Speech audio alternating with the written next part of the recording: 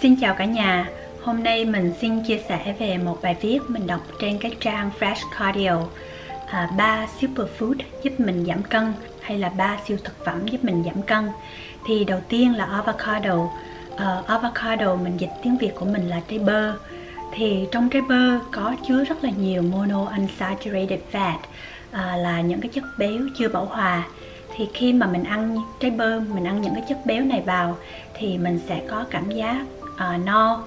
Uh, do đó mà nó giúp làm giảm cái uh, lượng calorie intake là giúp mình uh, ăn ít lại. Bên cạnh đó những cái chất béo này là những cái chất béo tốt à, nó sẽ làm tăng cái khả năng hấp thụ của những vitamin fat soluble à, những cái vitamin hòa tan trong chất béo à, như là vitamin A, à, vitamin D, à, vitamin E and vitamin K hơn nữa thì trong trái bơ còn chứa rất là ít carbohydrate hay mình còn gọi là tinh bột đường. À, cả nhà có thể coi à, tham khảo các video carbohydrate của mình để biết thêm về tinh bột đường. Và bên cạnh đó thì trong bơ có chứa rất là nhiều xơ. À, cái hàm lượng chất xơ trong trái bơ cao sẽ giúp hỗ trợ à, cho việc tiêu hóa và điều chỉnh được lượng đường trong máu của mình à, bên cạnh đó thì trong bơ còn có chứa nhiều vitamin và những cái khoáng chất khác à, như là vitamin C, ờ, vitamin E, à, vitamin K, à, vitamin B2, à, B3, B5 and à, những khoáng chất như là copper, à, magnesium, potassium hay là manganese. À, mình có thể ăn bơ bằng nhiều cách. À, mình có thể để à, bơ vào trong salad hoặc là mình có thể làm toast à, mình có thể để những cái miếng à, những cái lát bánh mì nướng xong rồi là mình có thể để bơ lên trên nè à, hoặc là mình à, làm uống bơ sinh tố. À, Việt Nam mình thì hay có món là sinh tố bơ ha.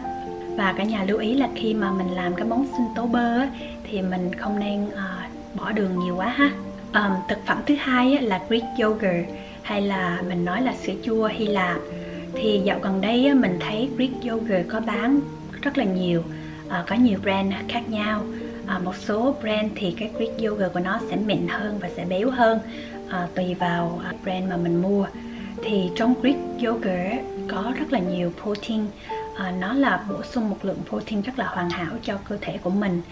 Trong Greek yogurt còn có chứa nhiều calcium hay mình nói là canxi à, và nhiều probiotic hay là mang vi sinh à, thì cả nhà có thể tham khảo cái video mang vi sinh của mình ha. Khi mà mình ăn Greek yogurt thì khi mà nó có nhiều protein thì nó sẽ giúp cho mình có cảm giác no và giảm uh, cảm giác thèm ăn. Uh, do đó mà Greek yogurt có thể giúp mình giảm cân nè.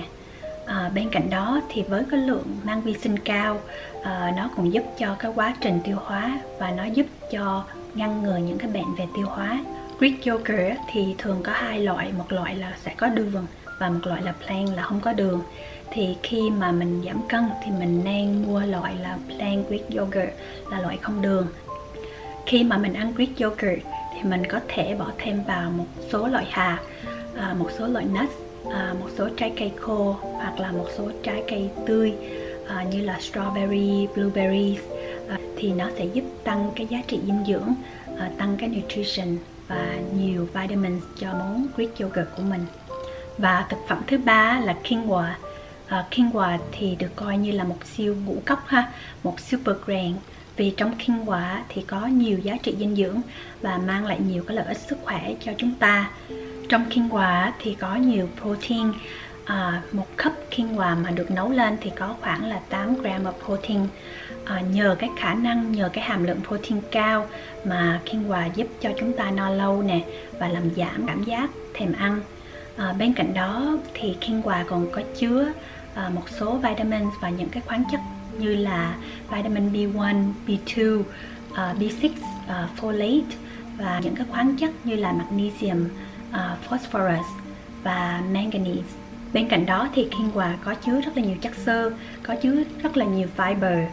À, nhờ cái hàm lượng chất xơ hay là fiber cao mà quinoa giúp cho cái hệ tiêu hóa của mình tốt hơn nè và làm giảm các cái bệnh về tiêu hóa như là những cái bệnh về colon cancer. À, nhờ cái hàm lượng chất xơ cao à, nó sẽ giúp cho cái việc giải phóng năng lượng trong cơ thể của mình chậm hơn. À, và do đó là nó sẽ giúp cho mình có cảm giác no lâu hơn. À, như vậy thì mình sẽ ăn ít lại nè và sẽ giúp cho mình giảm cân và nhờ cái đặc tính là hàm lượng protein cao của quinoa à, quinoa có thể giúp làm ổn định được cái lượng đường trong máu của mình. À, do đó mà quinoa có thể giúp à, làm giảm nguy cơ về các căn bệnh về tiểu đường. Khi mà mình ăn quinoa thì mình có thể nấu chín quinoa à, như là mình nấu cơm để mình ăn thay cơm. À, hoặc là mình có thể làm quinoa như là quinoa salad. Mình thì mình hay mua món quinoa salad ở Costco về để ăn ha nếu mà mình có thể kết hợp ba superfood này vào trong chế độ ăn uống hàng ngày của mình thì à, mình có thể thúc đẩy được à, quá trình giảm cân à, tốt hơn à, nhanh hơn và có thể là safe hơn an toàn hơn. À, và bên cạnh đó thì ba superfood này còn giúp cho mình tăng cường sức khỏe tổng thể à, vì là nó có nhiều à, giá trị dinh dưỡng à, có nhiều à, protein và à, vitamins và những cốt khoáng chất khác video của mình đến đây là hết rồi. À, cảm ơn cả nhà đã theo dõi. Tạm biệt. Bye bye.